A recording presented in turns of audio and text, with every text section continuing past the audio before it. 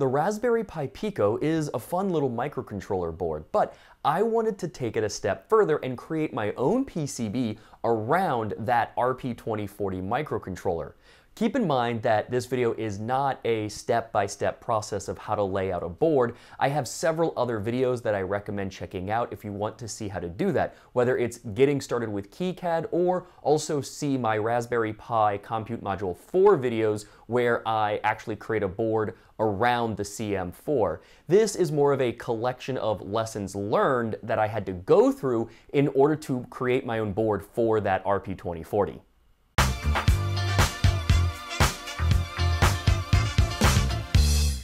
The idea I had was to create a stackable programmer slash debugger. As you can see, in order to use Pico probes separately to debug another Raspberry Pi Pico, it takes up a lot of space on these breadboards. So what I want to do is have something that goes underneath or on top of my target Pico to help me debug it and program it so that it takes up less space and I can kind of prototype around it. Don't worry about making exactly this. You can feel free to take this idea and create your own PCB around the RP2040 for your own purposes. The best place to go to figure out what we need to do to lay out a board around the RP2040 is obviously the datasheet. Specifically, we want to go to electrical and mechanical section, and here's where they show you all the information you need about the package. The important thing here is that it's a QFN package, there's no visible lead, so it's going to be a little tricky to solder. We won't be able to do it by hand, so we're going to need to use hot air or some type of reflow oven. And it's a 0.4 millimeter pitch uh, between your pins here. If we zoom down, you can see the recommended footprint. And good news for us, we don't actually have to create this footprint in KiCad. DigiKey, if you go to the RP2040 or the Pico page, the product page, you can find that Ultra Librarian has already added the footprint for the RP2040 and we can download this for KiCad and include it in our library, which makes the layout process much easier. Raspberry Pi made this fantastic document called Hardware Design with RP2040, and it walks you through a basic layout and schematic for creating a very simple board around the RP2040. In fact, I recommend reading through this document, at the very least, chapter two. They give you all the great recommendations to figure out what you need to do to make the RP2040 work. I'll point out some of the major parts that you need to remember here. First is the power section. They give you a good design here to start with. The Pico actually uses a buck boost converter, which is a little bit of overkill. We generally don't need to boost stuff unless you're working with lower voltages than say your 5 volts or lower than 3.3 volts. Maybe you're coming off of a LiPo battery and you need to consider it. But for my purposes, at least for the debugger, I plan to power everything off of the USB, which is 5 volts. So we can honestly just use a buck converter or a really simple LDO. And it looks like that's what they're recommending here is an LDO and that's what I'm going to go with. If we scroll down, they give you recommendations about how to work with the decoupling capacitors. The big thing is that you need to have 100 nanofarad capacitors by each of the IOVDD pins. You can see them listed out here, but you'll want each capacitor to be close as possible to each of these pins.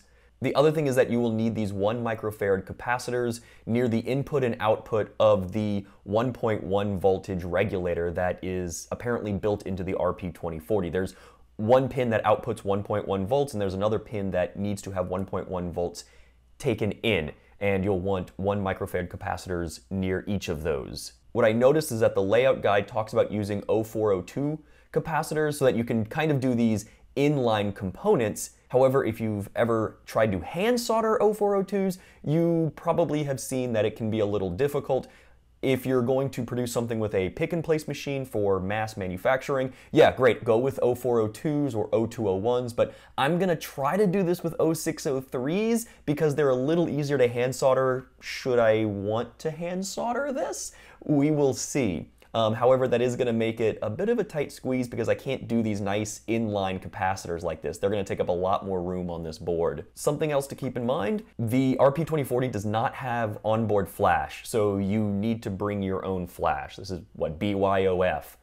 And it recommends using a quad SPI protocol to communicate with your off-chip flash component. What I have found is that the quad SPI communication for many of these flash chips is fairly standardized. You'll want to look at the datasheet for each of your flash chips to make sure that it supports the commands that are outlined in 2.6. So if I go there in my document here, you can see where it talks about, hey, look at the datasheet for your quad SPI flash chip, make sure it supports these commands with these given command values.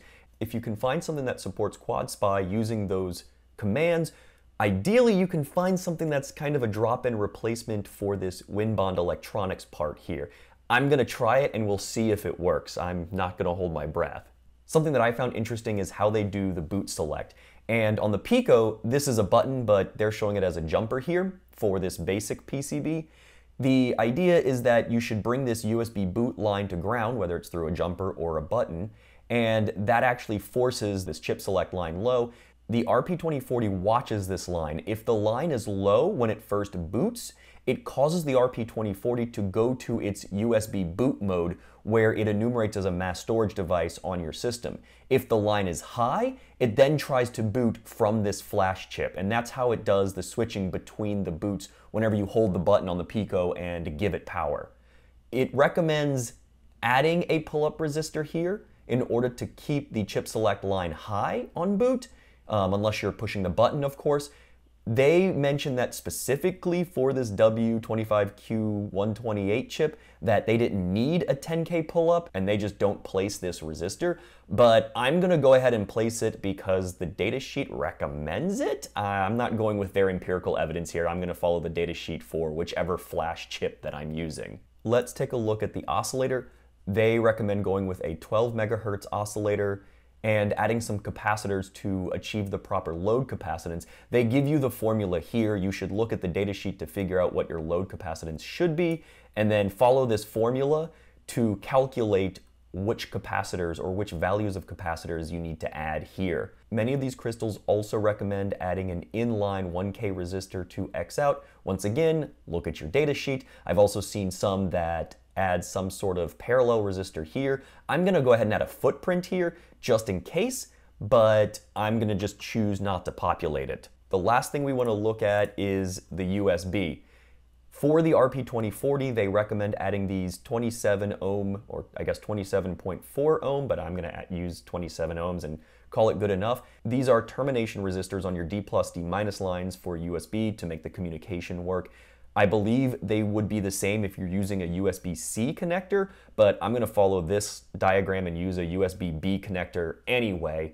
Feel free to use USB-C for your own design, but make sure you look at the schematics and recommended layout for that. This document does offer a full schematic, and this is actually a really good starting place for laying out your board around the RP2040. I definitely recommend reading through this whole document, at least chapter two, to get an idea of what you need to make the RP2040 work.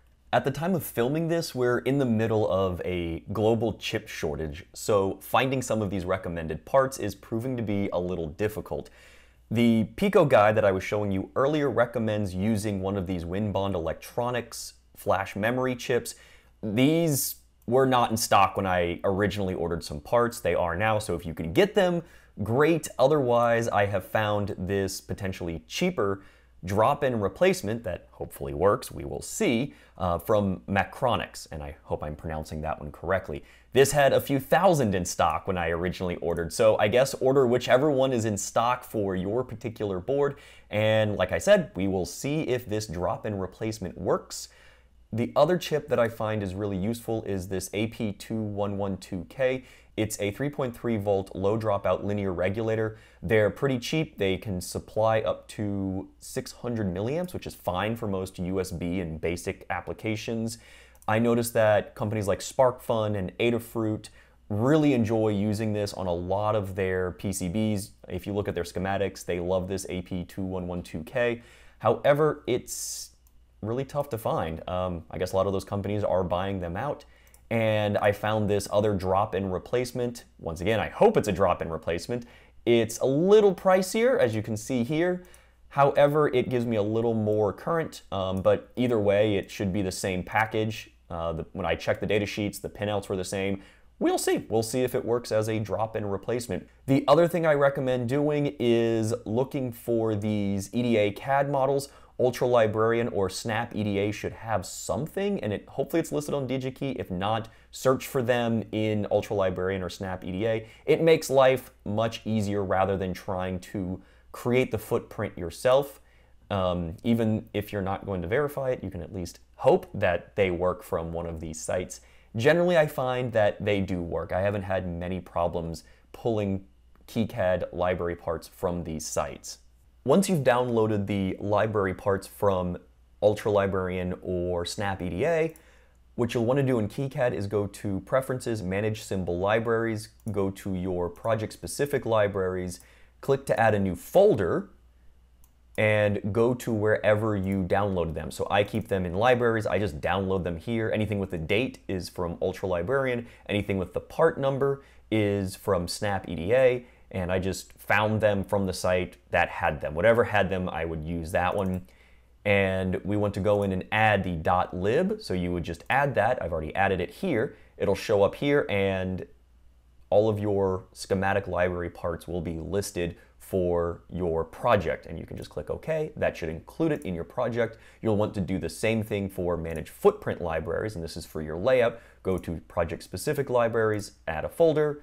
Course this browser window looks a little different and you'll want to go into your libraries wherever you downloaded them. You'll want to go into the folder with your downloaded library and you'll want to click one of the folders that says .pretty. That's a folder that contains your footprint. So you say okay to that what I have found is that for the parts from Ultra Librarian, when you include them, it will keep the nickname of footprints because that was the name of the folder and they're all gonna do that and have that as the nickname and then when you try to save it, it will yell at you so you'll want to rename the nickname as something else based on your part. So I'm gonna call it RP2040 and that's the name that's going to show up when we go to associate footprints with schematic symbols.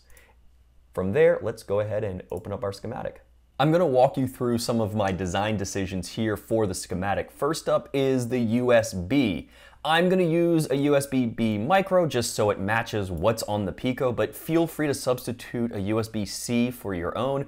I have another video laying out a board for the Raspberry Pi Compute Module 4 where I use USB-C, so feel free to take a look at that. Note that to use it, you're gonna need a couple of extra resistors to make it work, but this keeps it simple. I can use the same cable for this board as well as the Pico since I plan to stack the Pico on top of this board. And I kind of follow the Pico's design here where there's VBus and then there's a diode that prevents any sort of current coming back from VSys into my USB line in case I have, I guess, more voltage on the VSys pin. And I'm using this AP2112 or whatever my drop-in replacement is going to be, a couple of decoupling capacitors, as well as my enable line is pulled up. This one's fairly simple. You can find reference schematics for this in the datasheet for the AP2112 as well as on SparkFun and Adafruit. This is a very popular voltage regulator. I also attached a green LED to GPIO 25 on the RP2040 through a 1K resistor. This is very similar to what you'll find on the Pico, although I think they use a resistor with less resistance to make the LED a little brighter, but it's attached to the same pin, and the reason for that is when I load Pico probe, that firmware, onto this RP2040, it causes GPIO 25 to blink or light up and give us some status codes, and I want that to work exactly the same. So I'm just gonna keep this LED on here. I'm not putting a simple power on LED, but you are welcome to add one of those if you'd like, or attach LEDs to other pins. As you'll notice, many of these pins are not connected, so that's really up to you how you wanna connect the RP2040. I think the RP2040 comes with bootloader out of the package, which means I should be able to just upload programs to it over USB, but I'm not entirely sure about that yet. In fact, I haven't looked at the documentation for programming this thing when it's new as a brand new chip, not part of a Pico or any other board. So that'll be a fun one. We'll figure out how to upload a program to it. If USB programming does not work, I've gone ahead and added the SWD port so that I can send and debug programs directly to my device here. Instead of using a button for reset, which you can do, I added a simple jumper, which is gonna be a two pin header.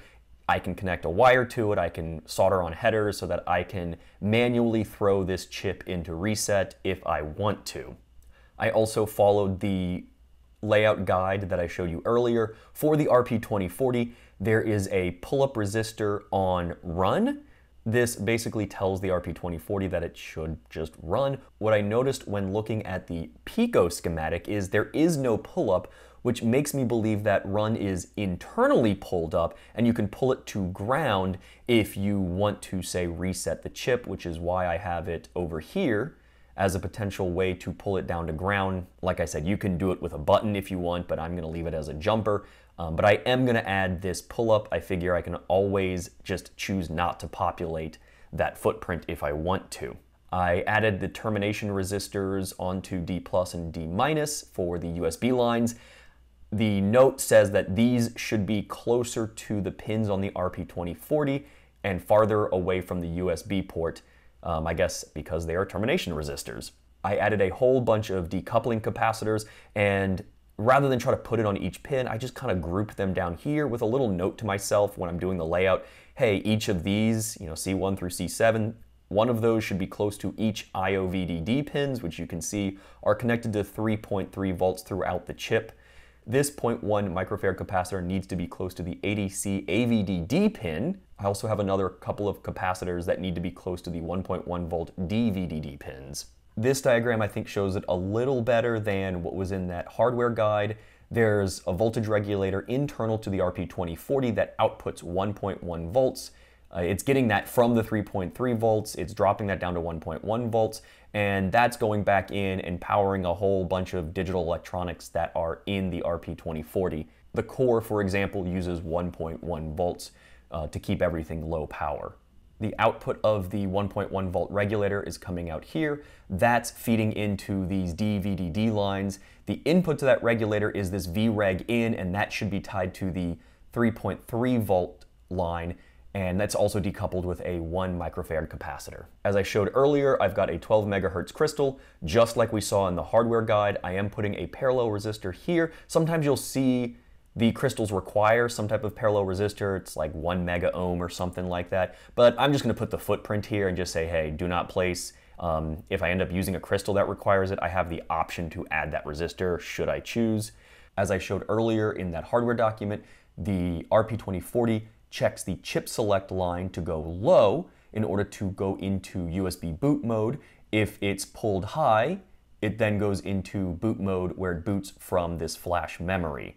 This should look exactly like it was in that hardware guide where we've got the little decoupling capacitor over here and then our special USB boot toggle mode that goes to our button that's here.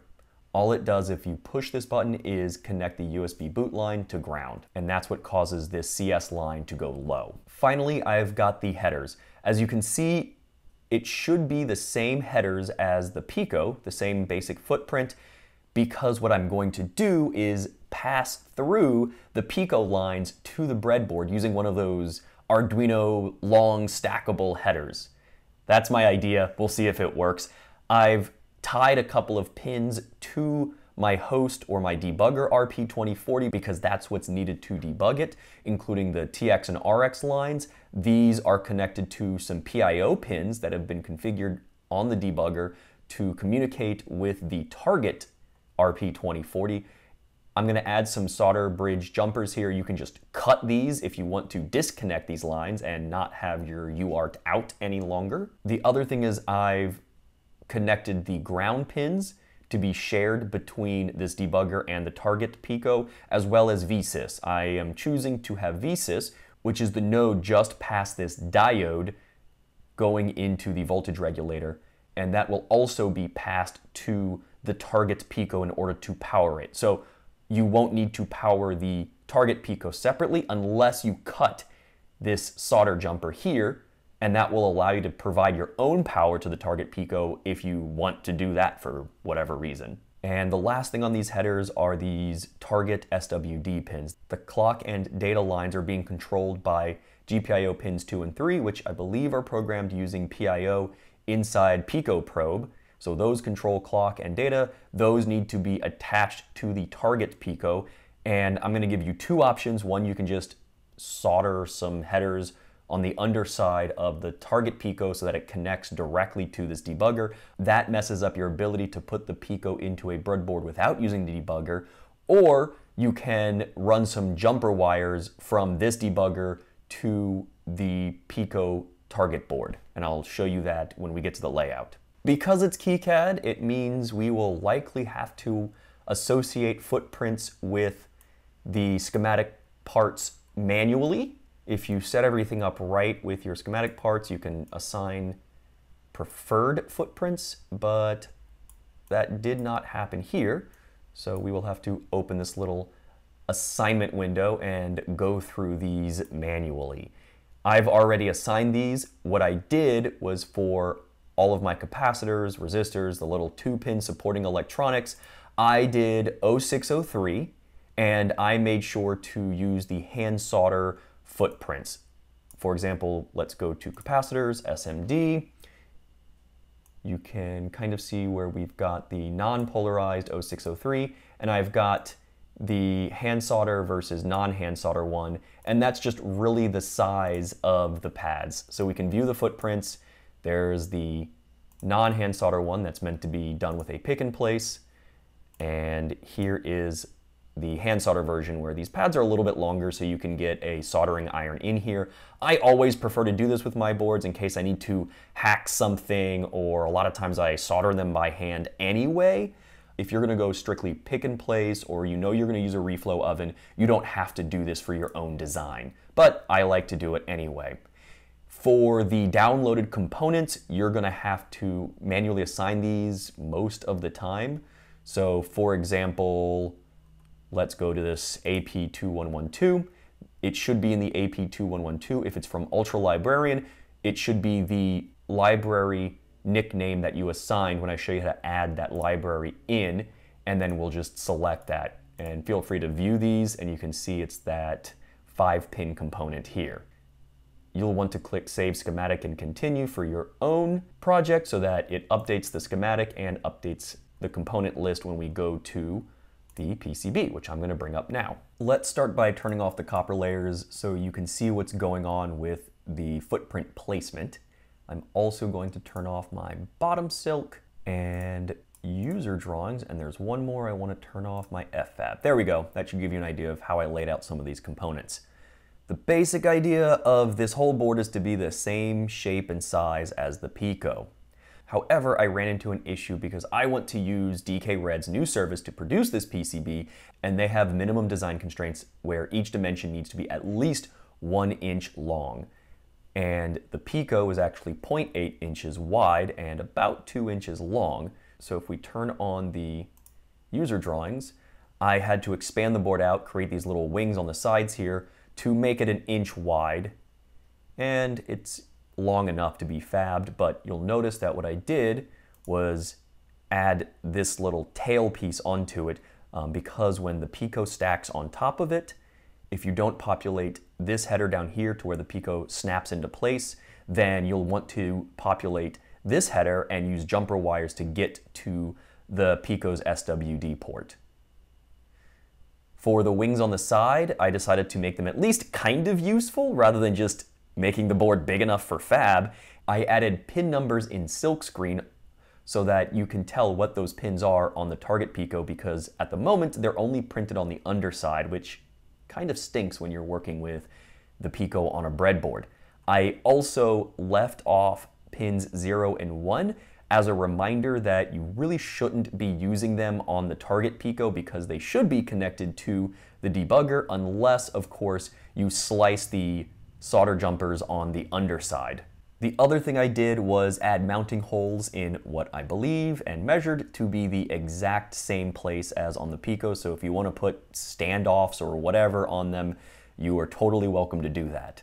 My plan to solder this up is to put everything through my little homemade reflow oven. That being said, you can also use a hot air gun for just the RP2040 because that's the only QFN part on this whole board where you can't get a soldering iron to any of the pins.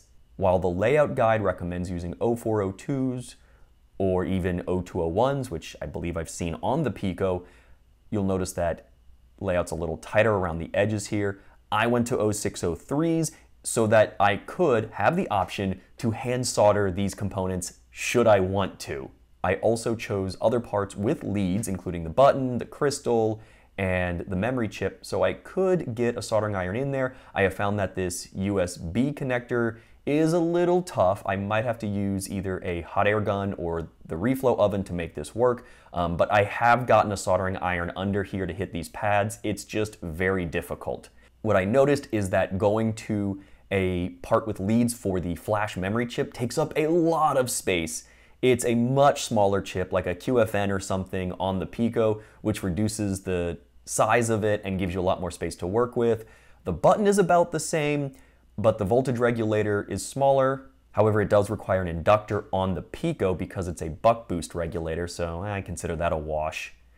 And the crystal is a lot smaller. It's one of those small, tiny four pin packages where you can't really get a soldering iron under it to solder the pins down. So I went with one of these larger ones that has the pins sticking out of the side. It's about a quarter inch long. As you can see, it still takes up a lot of space on this board. If you do decide to go with 0603 and some of these larger hand soldering parts, you can see that this board is a little crowded for what I'm really comfortable with. My recommendation is to move to something like a four layer board or you'll have to make the board a little bigger if you want to add more parts than this. Let's take a look at my design rules. I used the more conservative numbers from OSH Park because DKRed is capable of going smaller than these minimum track widths and track clearances, but I'm going to keep these as the conservative ones just in case anybody else wants to produce this board wherever they choose you should be able to have it produced at almost any fab house because these minimum design rules are so much larger than what a lot of fab houses report to being able to do anyway. That being said, I set the net classes. Uh, you can see that I have my default lines being fairly wide with good clearance. My power lines I made a little bigger. I actually think on a top layer, 0.18 millimeters is capable of transporting half an amp, maybe more.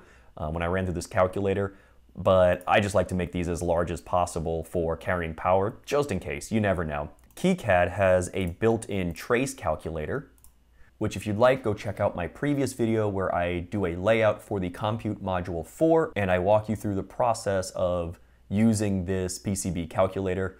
We're doing a differential pair, and we need to make sure that the differential impedance is 90 ohms, if I remember correctly, for USB. So we use 0.77 width with all these parameters that are set in place with the dielectric height being 1.6 millimeters because that's what DKRed is going to produce for us. We've got a separation as small as we can go at about 0.15 millimeters. And playing around with the numbers, we get 0.77 millimeters for the trace width. That gives us an odd impedance of about 45 ohms, and then we multiply that 2 to get 90 ohms. This should hopefully work. Once again, it's a very short run of traces going between my USB connector carrying data to the termination resistors that go into the RP2040. Because it's so short, it's one of those I will do my best to maintain the differential impedance as well as length matching the traces. I really should have some guard ground pour around it, ideally stitched to the ground plane under it, that's even better, but I at least have ground plane under the whole length of wires and it's not split by any traces so that the return current doesn't have to like travel all the way around any of these traces. I tried to keep that one shot where possible. My preference is to route these first, which is why I have the RP2040 lined up like this. So it's a straight shot from the USB data lines to the connector. And I wanted nothing to get in the way of those. Then I like to do the power lines. So if we follow these, you can see how these come through here, VSys to my voltage regulator, and then the wider 3.3 volt traces go throughout the board to provide power to any of the components that need it. What I noticed in the RP2040 datasheet, they have nine vias that are stitched to ground, and that is for both grounding the device so that current has a place to go with a lot of routes to the ground plane, as well as heat dissipation. I did my best. I needed some of that space to route these quad SPI lines. I couldn't really fan out the traces above the chip here, I just quite didn't have room if I wanted to run my power lines to the decoupling capacitors. Once again, if I had 0402s here or something smaller, I would probably have tons of room to get my vias for the quad SPI lines out here, but I simply don't.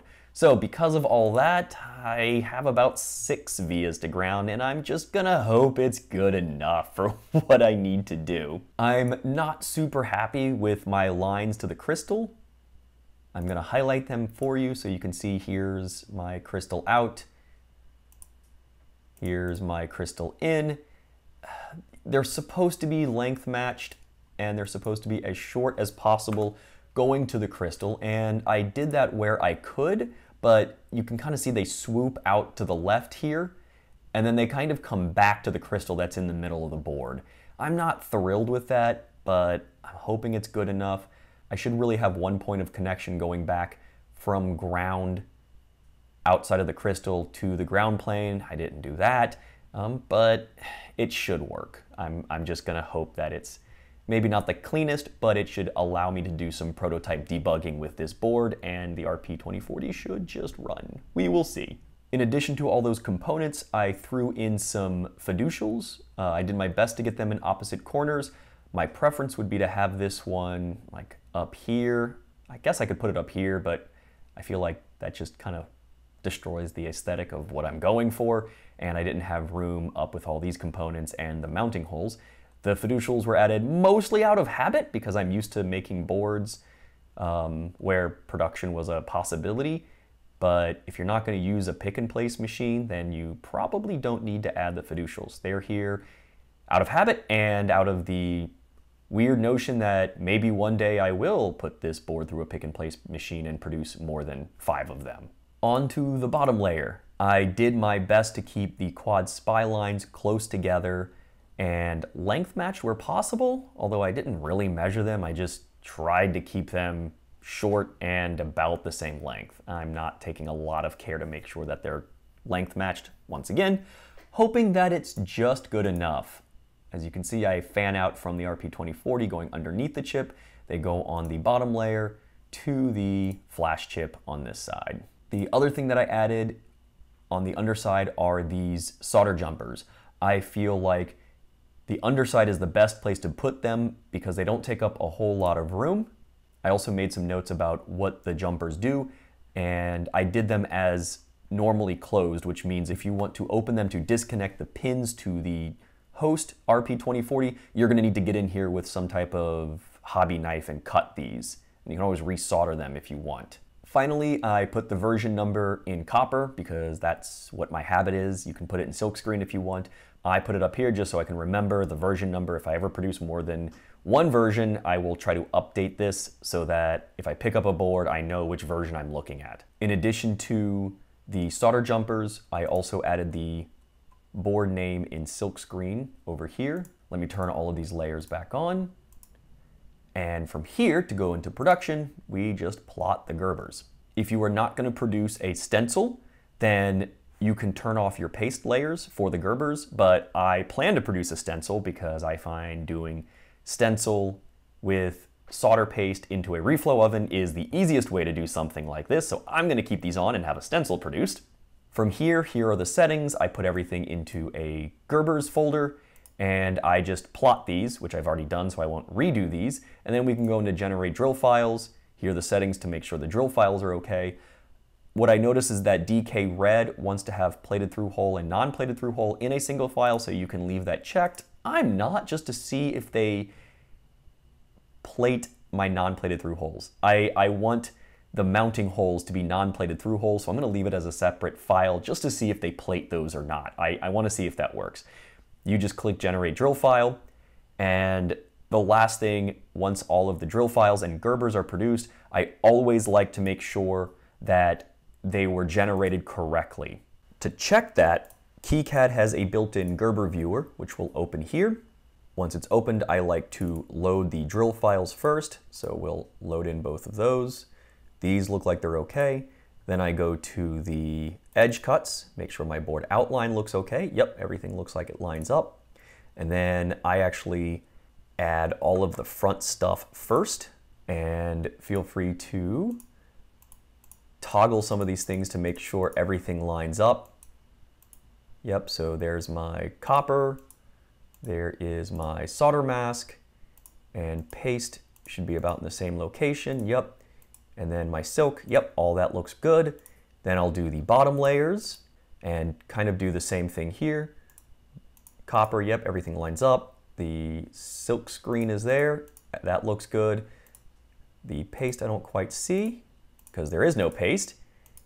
And solder mask, yep, everything looks good. So the Gerbers look good, which means we are ready to zip those up and send them off for manufacturing. I've got all of the output Gerber files in the Gerbers folder that's inside of my project directory. And all you want to do is just highlight them and send them to a compressed zip folder, assuming you're on Windows. Zip them up using whatever tool you have in whatever operating system you're using, and I'll rename it to be the name of my project underscore Gerbers underscore and version number. Um, I find that really helpful because I will keep records of the Gerbers with different versions if I ever need to go back and look at them. And now we're ready to go to the Fab House. DKRed is a new PCB prototyping service from DigiKey. It's very similar to the likes of OSH Park or Seeed Fusion if you've ever used one of those. The idea is you can get very inexpensive boards at low quantities, but a lot of your options are limited.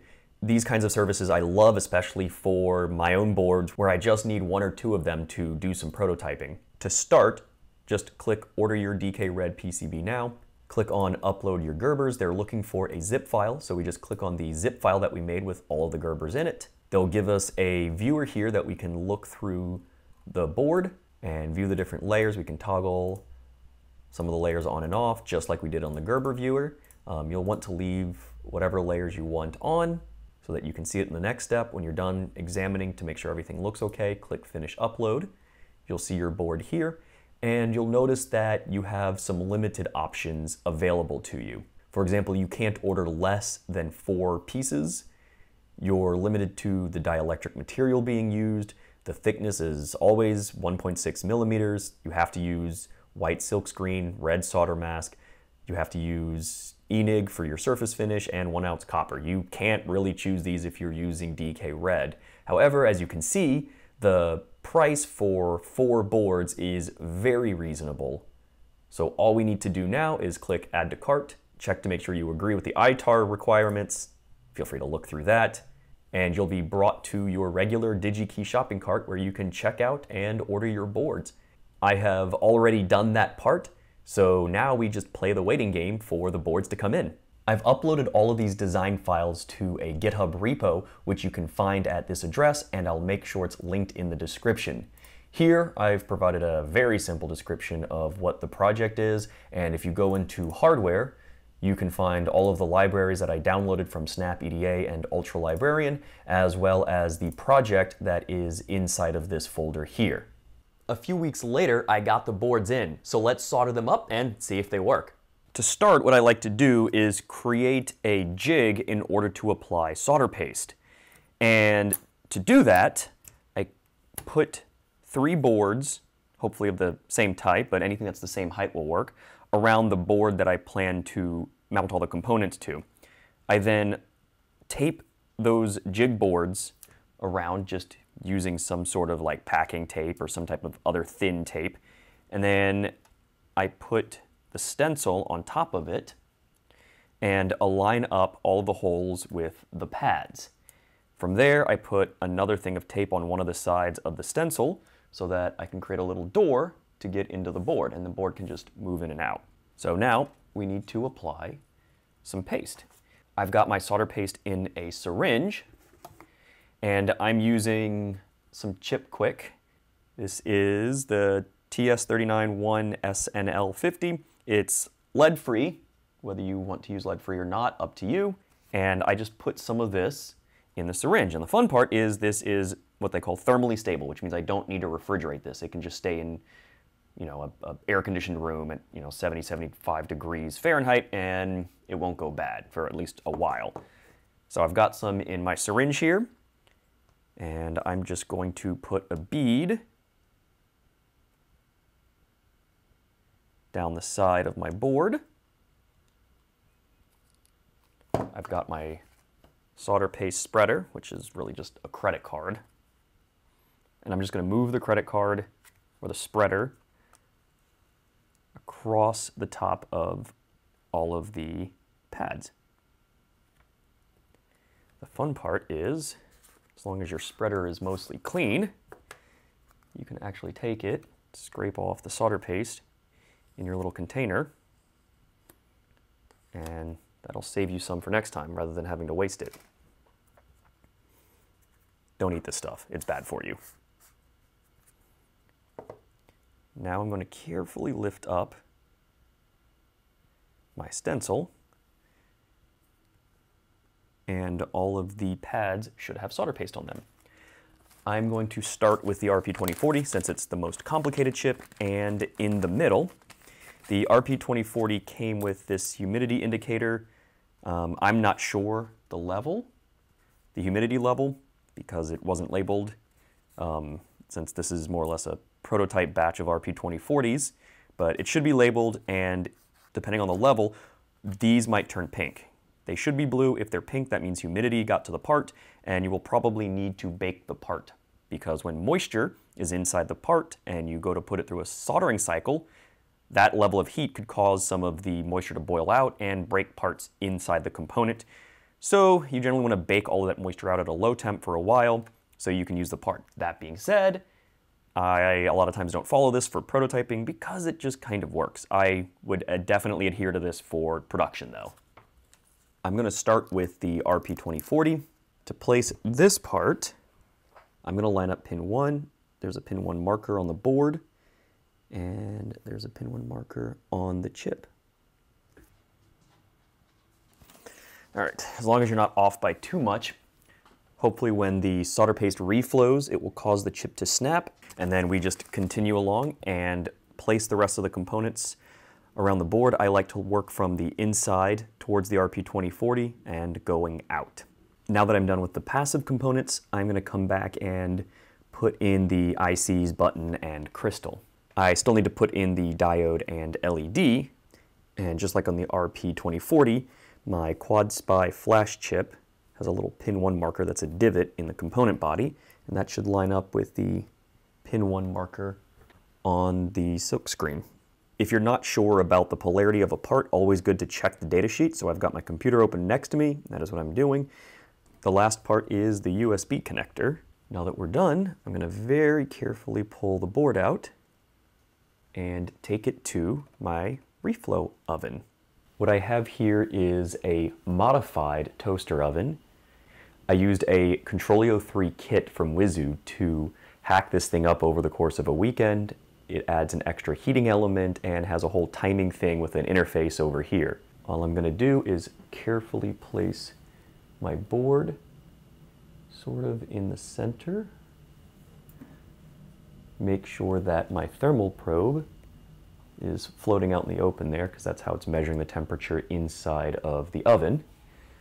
I'm going to close it up and then I'm going to choose my profile custom LED free. I made a couple of tweaks to the baseline profile. And then I'm just going to say run profile. And now we wait. It'll take a few minutes, but when it's done, the door will open to let it cool off, and I can pull my board out once everything's cooled. Even though the Controleo3 tells me that the board is done and that it is cooled, in reality, it's still gonna be fairly hot. So I recommend using some tool to remove the board very carefully. So what I like to do after pulling the board out is to inspect it to check on the solder joints. It looks okay. The board is actually a little discolored, which makes me think my particular oven's running a little hot. That will be a project for another time to fix the profile for that. The solder joints look a little goldish, which Makes me think it's running hot.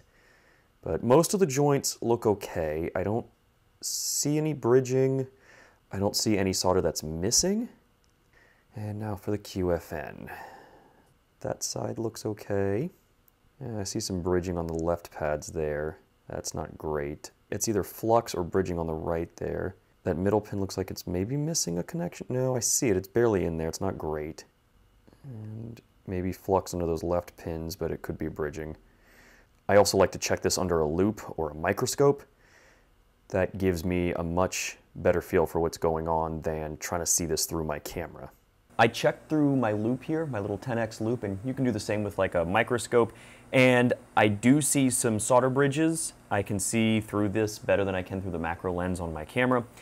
And there are a couple of things. If you suspect there's an alignment issue, you can use a hot air gun and try to reflow all of the joints at once. And you can also use a fine tip soldering iron to try to correct bridging that you see that's pretty obvious.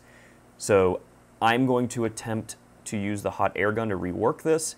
And to do that, I'm going to apply a bunch of flux all around the part. Basically just soak the part in flux.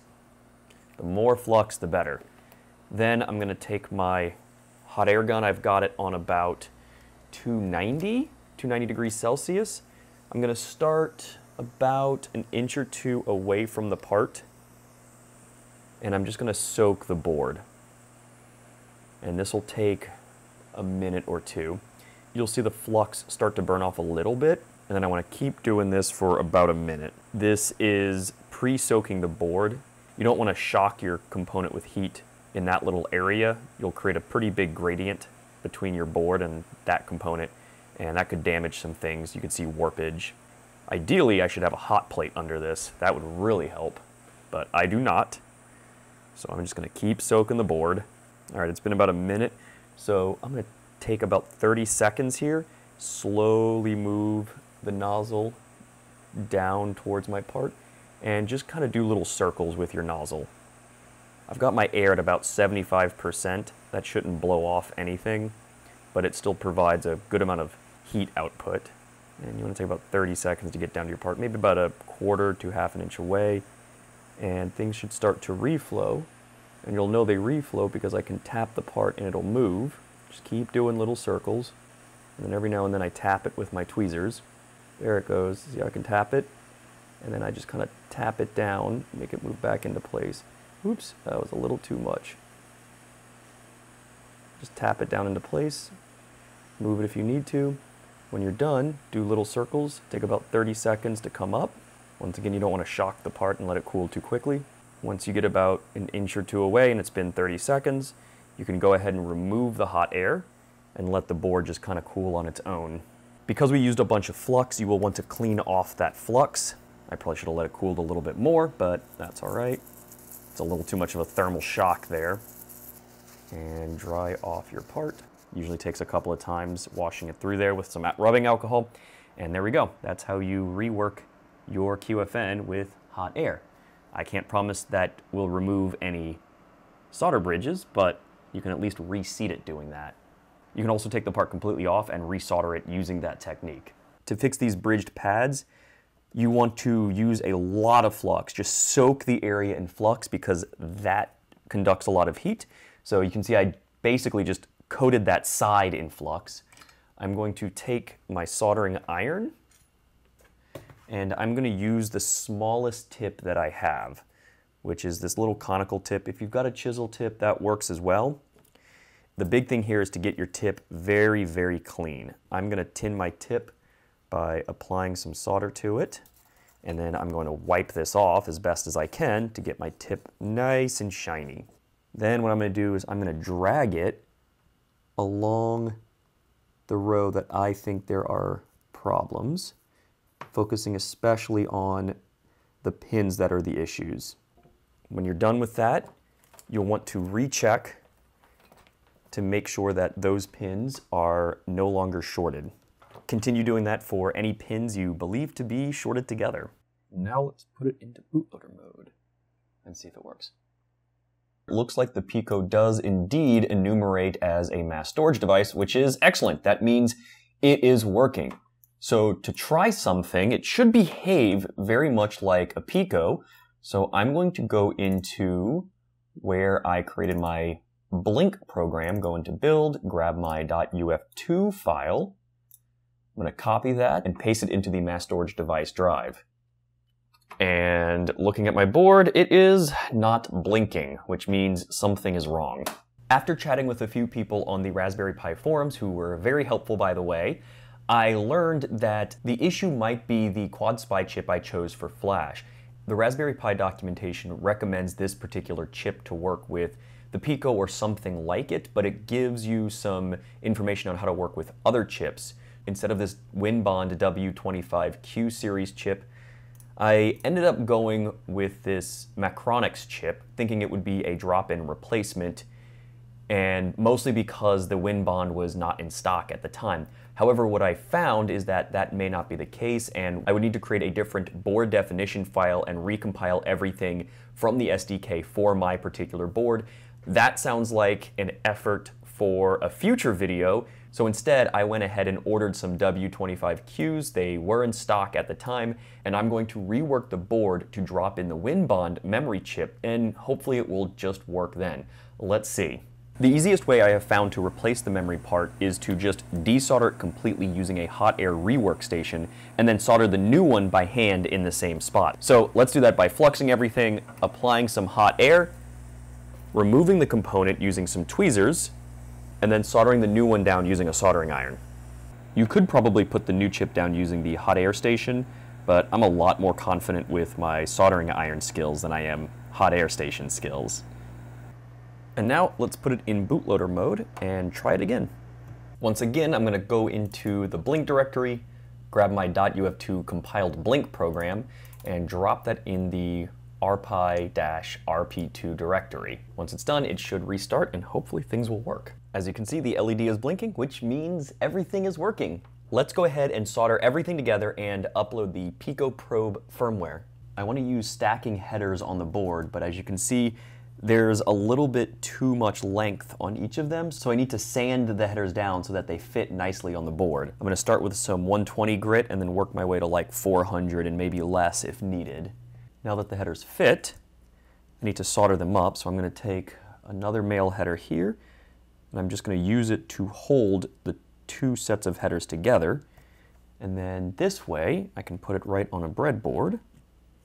Doesn't really matter where it goes. And that'll hold it in place and hold all the pins so that they are perpendicular to the board while I solder it up.